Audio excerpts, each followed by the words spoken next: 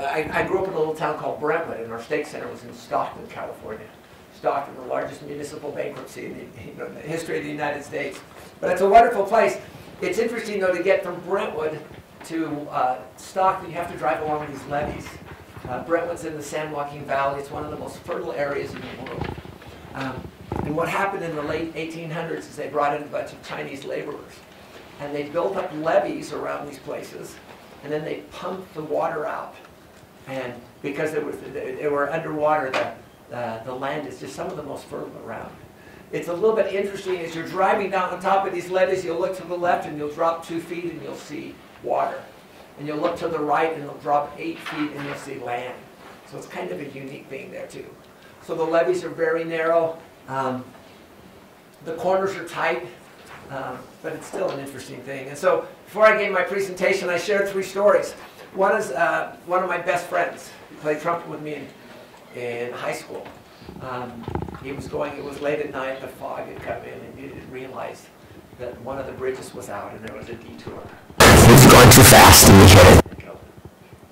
Story number two is I have a number of friends too. I don't want you to think that all my friends are weird, but they were driving along the levees, and one of the guys got the idea, wouldn't it be fun just to turn the key off? Wouldn't that make the you know, driver squirm a little bit? So what did he turn the key off? What happens with cars when you turn the key off? What does it do to the steering? The steering locks up. Luckily, he laid on the brakes, and they still hit, uh, hit, hit a telephone pole, but luckily no one was uh, seriously hurt. Story number three is I was driving my dad's F600 truck. I just got back from my mission so a truck with a 16-foot bed, had a 20-foot trailer behind it, and I had a 7,000-pound forklift on top of that. I was going from one job to the next. They had these bridges over these levees, and what they do is they have rather tight turns. And I thought I was, I thought I was being um, comfortable. I gave myself plenty of room, and the truck made it around the turn to go over the bridge, but the trailer didn't. And uh, the front tire of the trailer hit the curb on the bridge these bridges were built in the 20s and 30s, so they were very narrow. Blew the tire, bent the axle, did about $30,000 in, in damage in today's dollars. Remember that all my dad said was, Bryan, be more careful next time.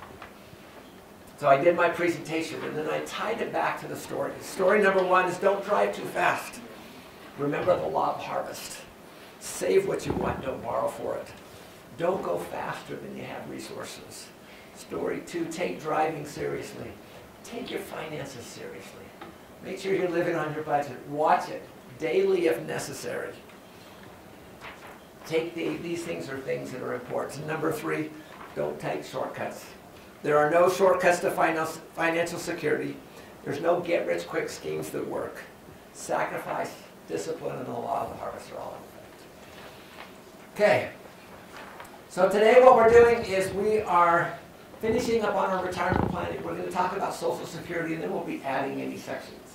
Uh, we've already had someone come up and uh, go to ssa.gov and to uh, create an account and look at their Social Security statements. I encourage each of you to do that. When you hand in your section there, realize you just have to state that I, I looked at my Social Security statement, it's correct. You don't necessarily have to include it in your PFP. You can if you want, for most of you, uh, your earnings records is, is only a couple of years, so it's not that, not that difficult. So, this is how you get a copy of it. Click on Create an Account. You'll agree to the terms of service, and you'll fill in the information. And now you can view or print your statement. I actually like to keep a copy of it on my computer so I can actually see how things have changed. Will, will this change over time? Yeah, every year you will add one more year of data, one more year of earnings to it. Remember, your Social Security benefits are calculated on your top five, 35 years of earnings. So, let's start with Social Security. Was it meant to be a retirement plan? No. Social Security came about in some really difficult times. The Stock market crash. Stock market fell 64 percent. GDP, GDP dropped by almost, uh, almost by half. My, I remember my grandmother telling stories about the hobos that would ride the trains. And they would come by and stop at their house in uh, Kimberly, Idaho. And what she would do is she would say, okay, there's a wood pile up the back. You, you chop wood for, you know, half an hour and we'll have dinner for you. And it's interesting, she said some of the people would just walk on to the next house. And other people, they, they would go and they would chop the wood. And then what she'd do is she'd have dinner for them and then she'd have another sack for them to take with them as they go to the next place. But it was not an easy time. It was difficult. 9,000 banks failed. 7 billion in assets. Think about what's, what's inflation been since 1929, so roughly 100 years. So th- just think about it. It's not, instead of 7 billion, probably 30 or 40 billion in assets. So it was a tough, it was a tough time. And what it was done, it was aid, it was set up to aid those out of work. It was set up to ensure that moms could stay at the home and take care of their kids. Realize it was set up at a different time. When it started in 1935, there were 17 workers for every recipient. And what was the average age? How long did people expect to live? You weren't expected to live beyond age 65. Think about it now. Now we are roughly three workers for every recipient. What's the, how long are you guys going to live? 85, 90, 95.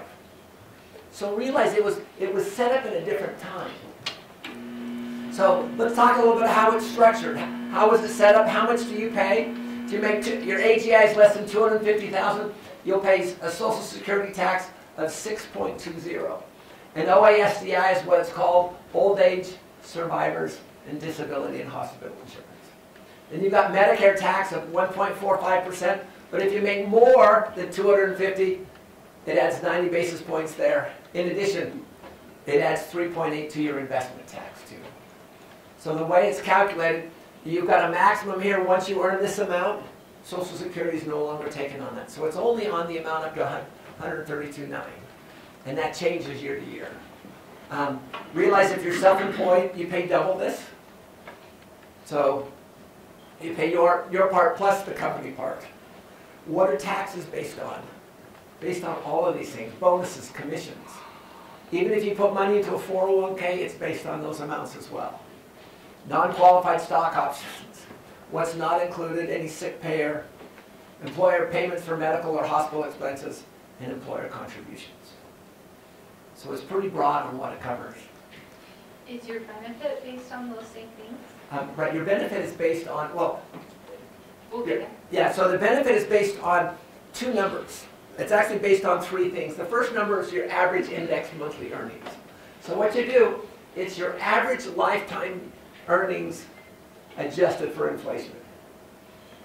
So, uh, so each year's earnings are adjusted, are, are inflation adjusted to put that together, that just W-2 earnings? right? Not just W-2 earnings. So it's all, all your earnings. So it includes, it includes your 401k contributions and things like that. So once you get this average index monthly earnings, then you, that's used to determine what's called your primary insurance amount. So your primary insurance amount, this, this specifies, it's basically the amount of your benefit. And realize your primary insurance is split into three different segments with a certain percentage and a dollar amount for each segment. So we call it bend points because there's two different bend points here. So the way you calculate your primary insurance from your AIME is using these bend points. It's 90% of the, of the amount of the first $926, 32% of the earnings from 926 to 5583, and 50, 15% of the earnings over. So, for example, if your AIME was 5000 per month, 90% of 926 or 833. 32% of this difference here, which is 4,074 or 13. And then 15% of the amount above or 2137. So you see how you calculate your primary insurance amount from your AIME. And then notice how the bend points have changed over time. I have no idea how they came up with this, but it's kind of a unique thing here. And then what happens is the government is trying to encourage you to defer payments as long as possible. And so what there's a thing they call full retirement age. Full retirement age is when you're um, when you can take 100% of your primary insurance amount.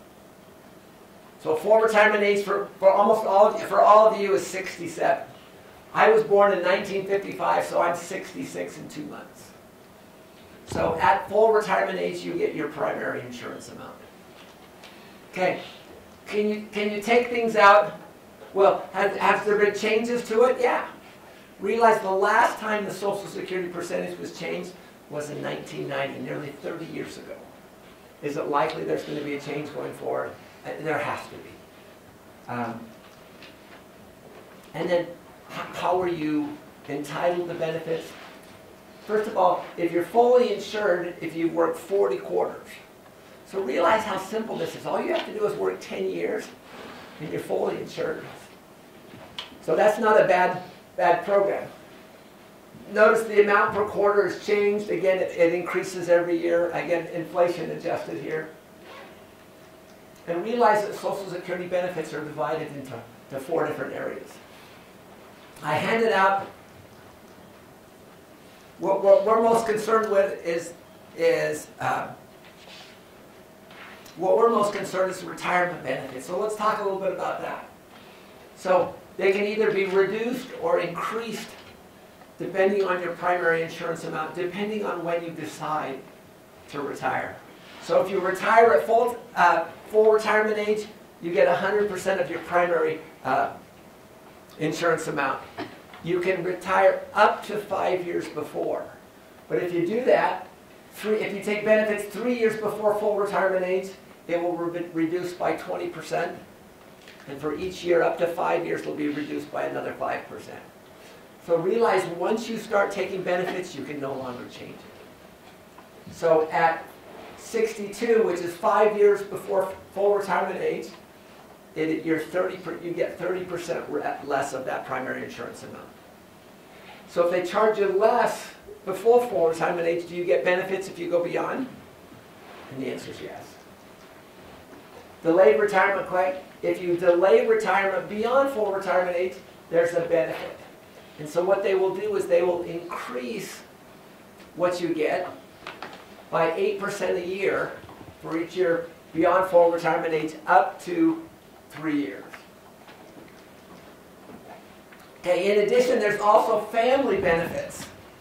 Family benefits, what's the maximum you can, you can get per family? And then uh, spouse's benefit. So if you're married, so example, my wife has a benefit from Social Security, but she gets the option. She can either take half of my Social Security, my PIA, or hers, whichever is larger. And so again, back to help make sure my mom's, or people stayed in the home. Okay. Um, so what are the, the benefits? I handed out that sheet. So I encourage you to just take a look at that one here. And if there's some extra copies there. So again, what, what are the retirement benefits? And you can actually see, five years or left, under full retirement age, what can you do? Worker at or over full, full retirement age, spouses, any age caring for children, and unmarried children, unmarried children here. So we talked about each of these, uh, these different areas. Um, and then I give you some notes off to the side. So again, Social Security was never meant to be your entire retirement account. So it actually says that it probably should be like 40%, and for most of you, I think I would make it significantly less. Um, questions from that from that sheet?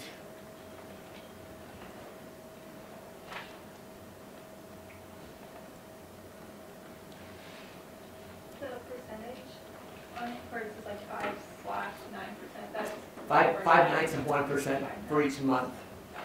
So if you just remember, um, if you're three years before full retirement age, it's minus thirty percent, or it's minus twenty percent, and then five years is minus thirty percent. And then the nice thing you have to do is eight percent beyond. My wife, so ideally what you'd look is you put your strategies together. Do you think you're gonna live longer than age seventy? Um, or, you know, eighty, you, you know, you might think about delaying it. You think you're gonna live shorter? You know, what you do is probably take it as soon as you can. Um, let me just go through a couple of other things. Just what about some things? What's the amount that's subject to FICA tax? Again, 132.9. If the government wanted to, they could just eliminate that and then make all earnings subject to it. That would bring in additional money into to help out the system. How do you qualify? Again, it's your insured status. To be fully insured, you need to have 40 quarters. You work for 10 years.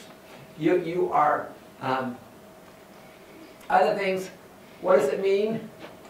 Uh, to be currently insured, you must have six quarters of coverage in the previous 13 years. And so if you're currently insured, you're, at, you're uh, eligible for survivor benefits, surviving spouse. Um, some of the other ones require fully insured status. Um, how much will you get? So remember your benefits are based on your average index monthly earnings. From that you calculate your primary insurance amount and then the, the then you calculate when do you take those, those benefits. Um, again, our my strategy, my wife and I, is I will take it at three years beyond full retirement age, and my wife will take it at full, full retirement age because I'm three years old. Again, goal is to replace 38 to 40% of your income, which is what the Social Security statement said. Um, when do you get it? How do you apply? We, we showed you how to uh, set up a My Social Security account. Um, and so you can actually go on and get that as often as you would like. Um, once a year, January 1, there's any cost of living increases for Social Security as well. So realize that there are those benefits there. Um, when will you receive it? Generally by check or direct deposit. Um, what about additional earnings? So before full, reti full retirement age and before, um, there are penalties if you earn too much money. So your, your wages will be reduced for every $2 in that. Yes? So just, I mean, it's like even further down the road, but just realize that if when somebody does pass away, so if you have a spouse that passes away, Uh -huh. they'll keep paying for it if you don't submit it, but they will come back and take that back. Yeah. And so just be careful because you'll probably receive an extra payment and realize you're gonna have to, they're gonna Yeah. pull that back. So you're gonna have to like watch that Yeah. really close. There's an- another, uh, our, our view is to take Social Security as late as possible for, for the higher wage earning spouse. There's another reason why that's a good thing too. So what happens if, when I die, if I um, took Social Security at full retirement age, which was 67, my wife would either get the higher of mine or hers. And so she would likely take mine. But if I waited to three years beyond full retirement age and then I passed away, she would get that higher amount. So it, it's also, it encourages you to wait a little bit later. Earned income before age 65, again, there's, there's penalties if you earn too much money. Um, how about federal income tax on benefits? You have to pay taxes on it? Yeah, so there's a thing called provisional income, which is your AGI plus tax exempt income, plus a certain percentage of your Social Security benefits. So depending on what your provisional income is, that's how much taxes you'll have to pay. Uh, uh, again, so you've got three categories, low, middle, and upper. So if you're in low income, none of the benefits are taxable. Middle income, half of it's taxable and high income, 85% of it's taxable. So it doesn't mean you'll lose 85%, but 85% is subject to your tax. So we talked about if you retired before full retirement age, um, benefits will be one held, one dollar in benefits will be withheld for two dollars in earnings above a certain amount. What are they trying to encourage you not to do? Retire too soon. At full retirement age, or the year you reach full retirement age will be withheld for every three dollars earnings beyond this amount. And then, what do you think? What's the what's the uh, what's the future of Social Security? Let me just use some numbers. This is the, the most updated I have, but I, I think we can get some a little bit better ones. This is 2012. They had income of 840 million, paid out 785. You compare that to 2007. Notice Social Security income is growing 1.4%, but expenses are growing 9.7%. Is that a fun place to position to be in? Yeah. So it's a, it's a tough one. Also realize we're roughly around three uh, workers per beneficiary. And what's happening to the old guys, kind of the, the baby boomers?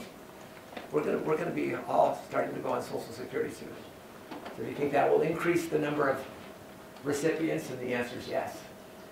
So what's the future? Again, 2015, solely from tax revenues. Till 2025, I have to use the bonds and be on 2033, um, I have to redeem bonds. So uh, again, it was never set up to do what it's doing now. So we've made some adjustments, and so we're going to need to make some. There's some hard decisions that are going to be need, need to be made. What about a worst case, case, case worst case scenario? Again, Social Security, they estimate they'll be able to pay about 77 cents on every dollar. And I think that there's going to be need to make some changes to be made to make sure that it's still um, that it's still solvent for us. What, what do I recommend? I plan for it. I wouldn't plan for it much, but if it's still available, be thankful use it. You paid into it. And so I'll, I'll get back about one third of what I put into, but that's okay. Um, the point here is it's a, a resource to help people and uh, help people here. So, based on this, what are your strategies for Social Security?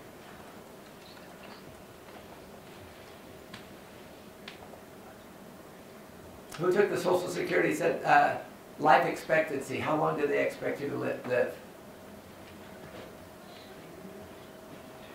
Who did it? The first one or the second? The first one. Ninety. Yours was 90. Okay. But Jessica, anyone else? I think mine was like 87. But, but we're going to live quite a while.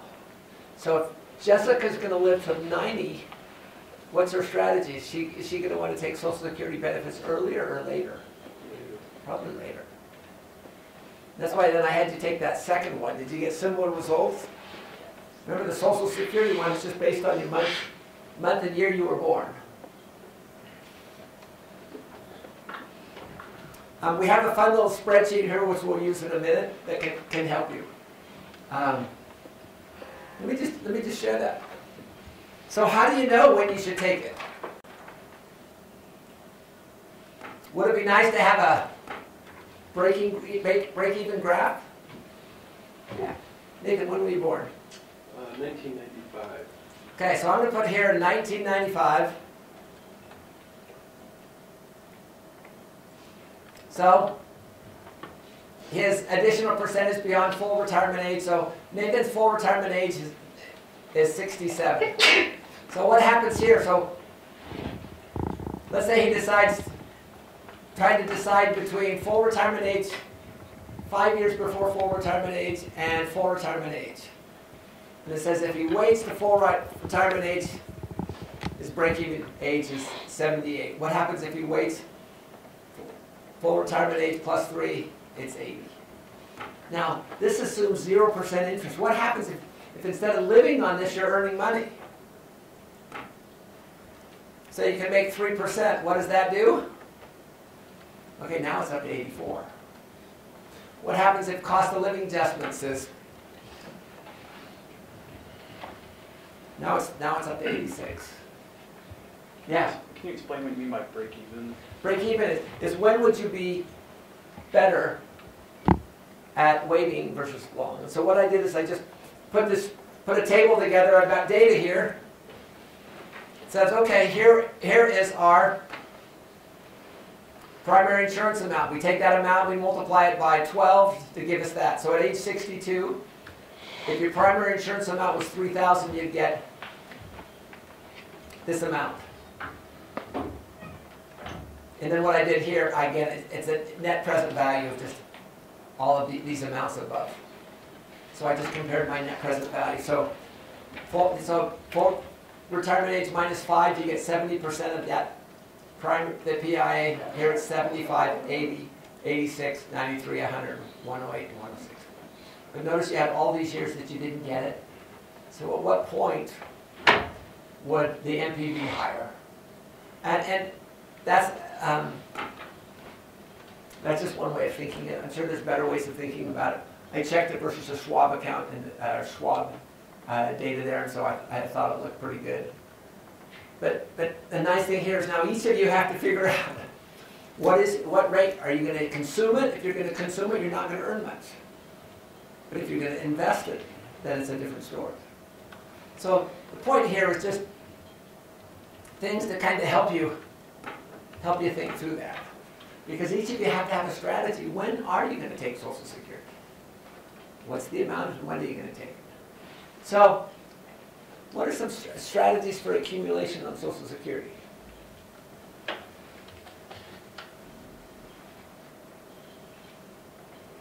Work so you pay into it? Yeah, so continue to work.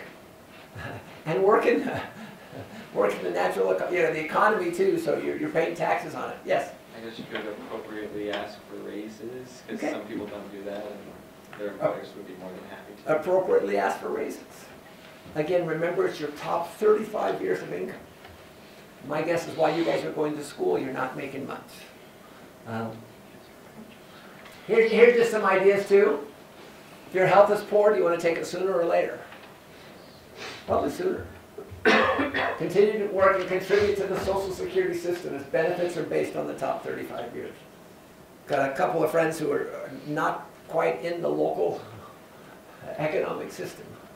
And I, I don't agree with it, but, but they're not. And the downside is, when it comes to retirement, yeah, you, you didn't, you didn't pay in, but you're not gonna get the resources afterwards.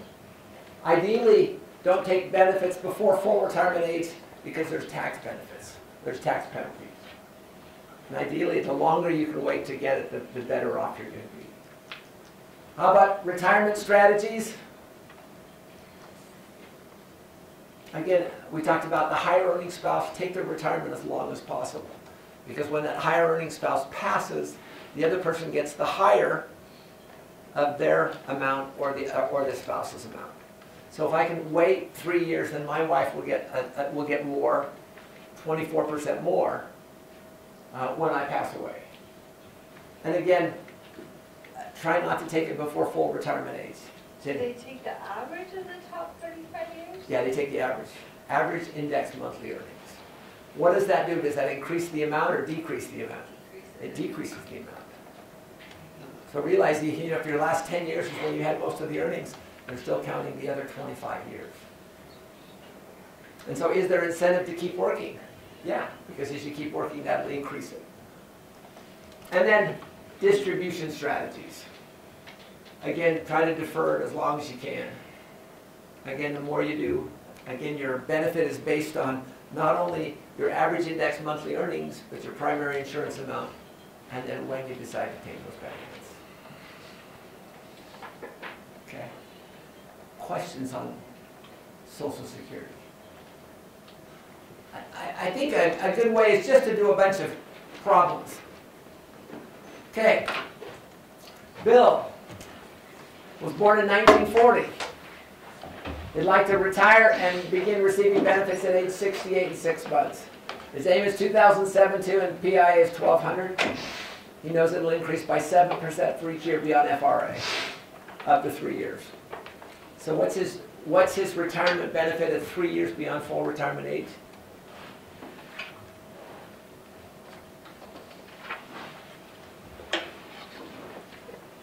So what's his benefit at full retirement age?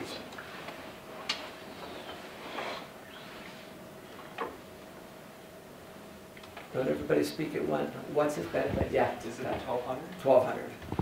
So if he does it at full retirement age, he'll get twelve hundred.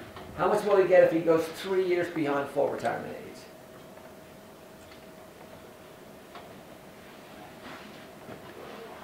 What percent is a year? Does he get a year? Seven percent? So, seven times three is twenty-one, one point two one times, Yeah, one thousand four hundred and seventy. yep. One foot, one thousand four hundred fifty-two. Fifty-two. Is that not compound? No, it's not compound. Oh, that's why. Yeah, so it's kind of a simple one there. So again, here's your 2072, here's your primary insurance amount. Notice we can look over on this side here. What's your monthly payments? At three years, it'd be 1452. Um, what I've noticed when you do your social security statement, it does not tell you what your average index monthly earnings are, but what it does is it tells you your amount. Could you back into that? And the answer is yes. So I back into my average index monthly earnings from the spreadsheet. Okay, Steve was born in 60, is thinking about retiring at age 62. So how much would he, his retirement benefits be reduced if he was to begin receiving Social Security at 62? If his AIME was 2072 and PIA was 12, how much would he receive each month? So what's the percentage increase for three years? What's the percentage decrease, I mean? 20% for three years, and what about for the last two years? 5% a year. So what's the total decrease, Tyler? So he'll be receiving 840, so that's... Okay, 840, which is 30% less. Okay. So 10% for the first three years, or 20%, 10% the next two, so $840. So you see that again on this, eight hundred and forty dollars there. So it's, there's a framework in place, Social Security, I, I have no idea how they came up with this. But, but it's logical and it's consistent, we can understand it. How about this one? He was born in fifty-five, Ann was born in fifty-eight. The plan to, to start taking social security when she, she's at her full retirement age. And he'll be, he'll be on. Assuming Ann's, Sam's PIA is fifteen and Ann's is six hundred, how much would each receive? So how much would Sam receive?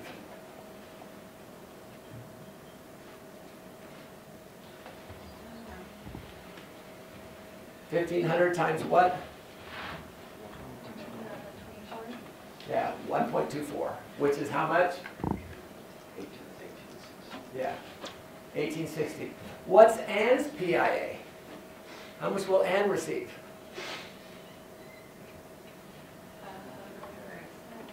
So she has the option, she can take the higher of her PIA or half of his.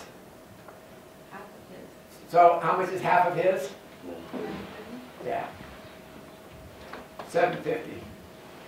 So he would get his eighteen sixty, she would get half of his or seven fifty, or they would have twenty-six ten per month. Okay. So is it making sense to get a sense on how- how we, how we put this together? How about this one, family maximums? So the half of the spouses doesn't include the three-year bump correct, up? Okay. right. But if she waited till three years beyond full retirement age, she could also get those same, that same amount. The question is, is it worthwhile for her to wait? Okay. Now, they were married, Steve passed away. He had an AIME, uh, PIA of twelve hundred when he passed away. Now, there's a family maximum. So the way it works on your family maximum, again, so here's your primary insurance amount.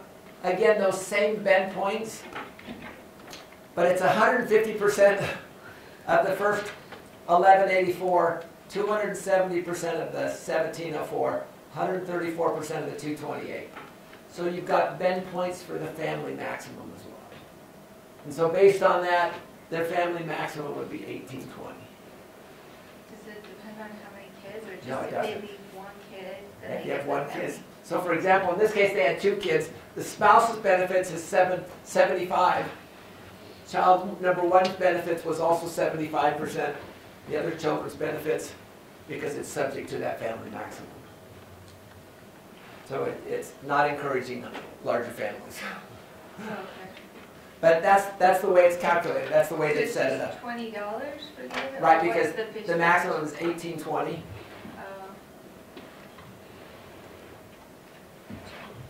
Oh. Okay, so what would, what would she receive? Again, seventy-five percent, she'd get nine hundred.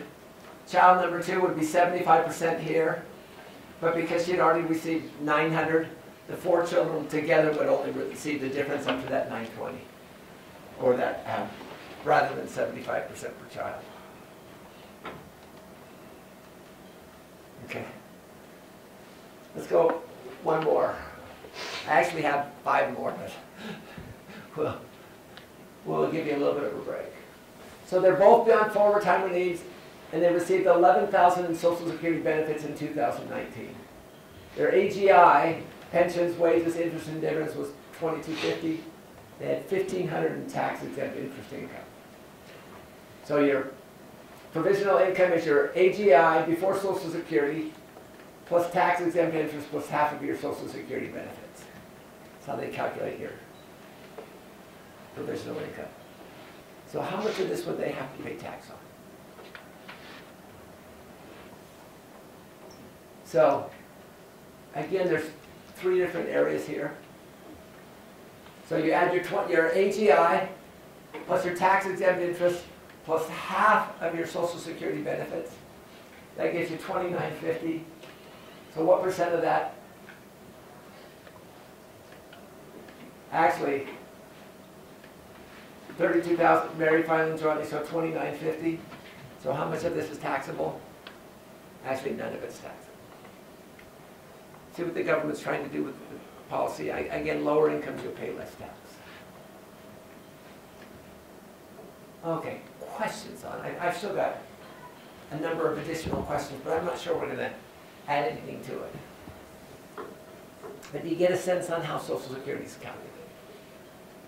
Realize that it was set up for a different era. It's set up in a time where the purpose was to keep moms in the homes. It was never really meant to be a sole source of, of retirement income for people. It's morphed, and like most government policies, they tend to change and they continue to expand.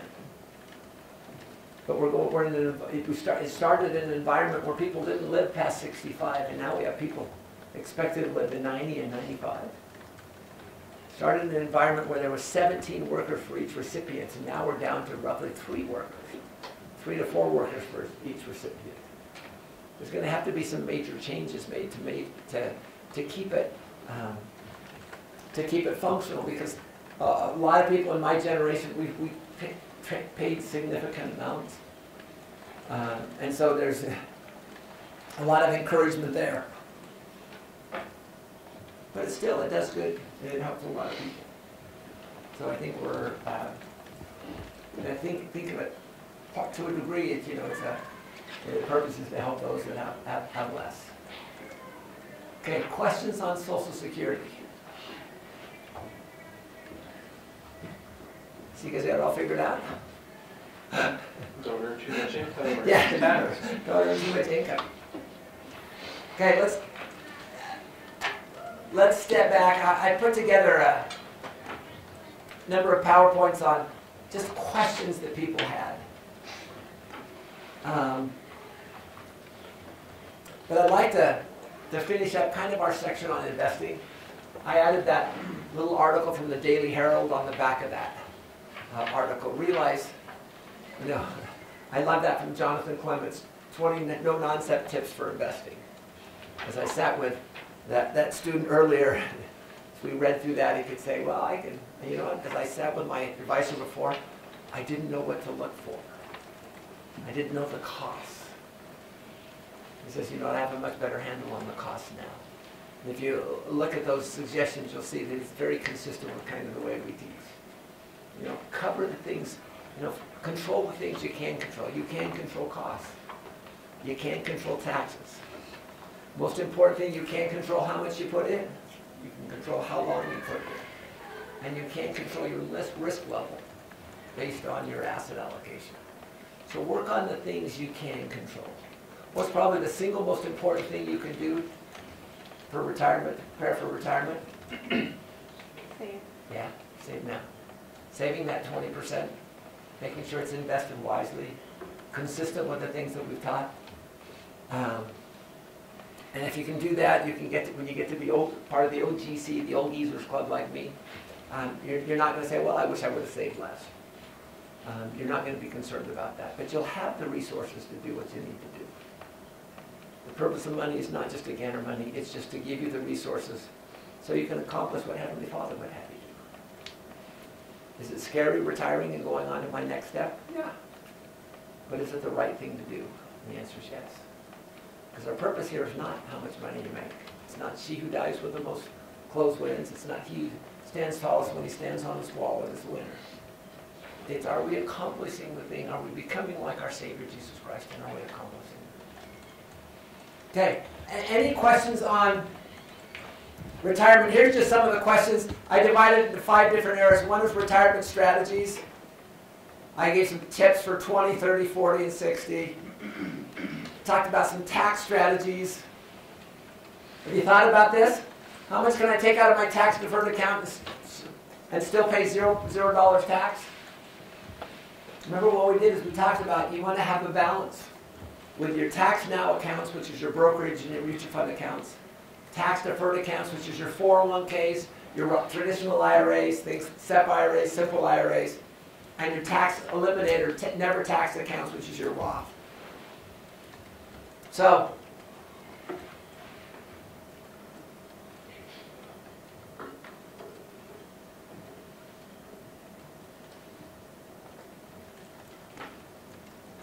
so let's talk about that one. If you want to pay zero,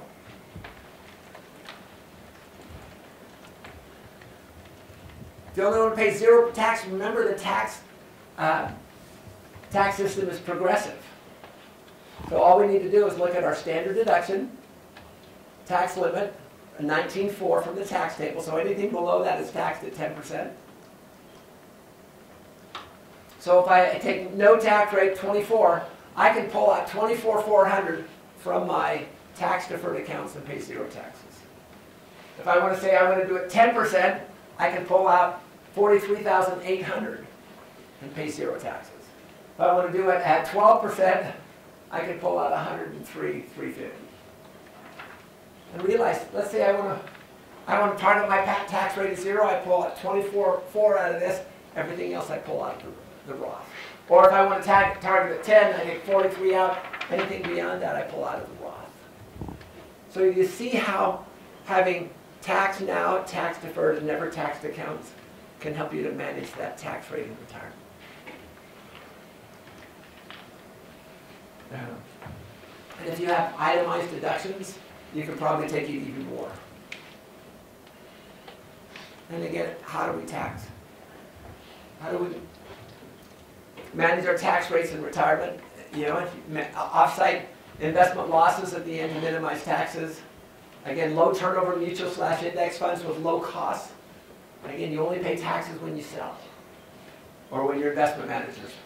Again, pay your uh, charitable contributions with appreciated stocks. We can use those to rebalance your portfolio. So, being wise, be, being wise is important. We, we've got the tools, we've got the knowledge. Other questions on retirement that we haven't discussed in class?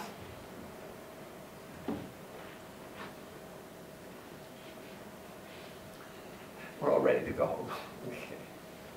It's okay. Um, there's, there's another three or four, yeah, Tyler. So will we discuss estates at all, or? We will. is that- okay. That's, so that next week you'll have, uh, you'll have uh, Blake coming in and talking about estate planning and wills. And then it'll also help you all write a holographic will. It's valid in about six states. Most important thing about that is just, for you who have kids, it's, it's take, making sure you're, whoever you have kids, in case something happened to you and your spouse, the right person is taking care of your kids. Okay, takeaways. Michael, what are your takeaways for today? Uh, mine was to just, uh, depend on, or rely on social security a lot less than the forty percent they recommend. Yeah, rely on social security a lot less. Hugh, Yeah, that, that was mine too. I mean, when you said that you, you only get one third of what you pay into it, yeah, it's just not something we should. But that's, rely on. h- high income people are that. Yeah. Low income, you probably get three times what you paid into it. Oh, So, uh, and it's, it's good because they will have more resources to help. Derek? One was just trying to defer the benefits as long as possible, Yeah, so you can maximize the monthly. okay. Devin? It was the same thing, basically, don't rely on social security and put it off as long as possible. Okay. Ethan? Same type of thing. I don't know. I we talked about like making sure that you're working to Yeah, make sure you're working. to top thirty-five years at higher amounts. Yeah. So here's my takeaways. Is we're responsible for retirement, it's up to us. You know, you need to plan well. Because no one will, no one will take that responsibility from you. And don't expect the government to do it, or do it well. Number two, just as we need to take driving seriously, we need to take our finances, we need to take retirement planning seriously. You need to realize that if you don't do it, it won't happen. So set a plan, follow through, and follow through with the things that you can do. The single most important thing you can do is save that twenty percent and invest it wisely. Number three, just as with driving, don't take shortcuts in your retirement. There are no get-rich-quick schemes that work. You can't spend yourself into financial security. Sacrifice, discipline, and the law of the harvest are still in effect. Okay, thanks, everyone. Appreciate you coming.